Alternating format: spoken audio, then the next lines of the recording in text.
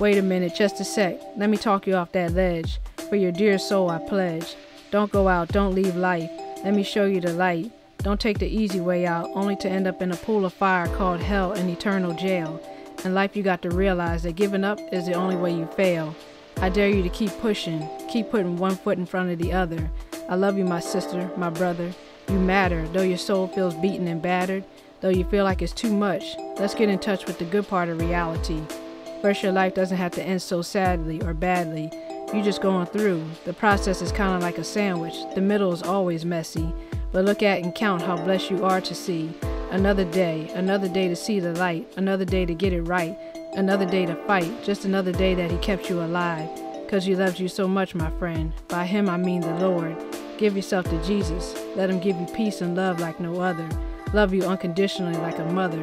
You're never a bother to Him because He's your Father. He loves you deeply and accepts you. Your life matters. Stay around, please. Your life we need. So before you take those pills and try to kill yourself out, just know without a doubt, just think about and know that you will be sorely missed. Open yourself to the Father and feel His kiss of life. Connect yourself to the light and please choose life.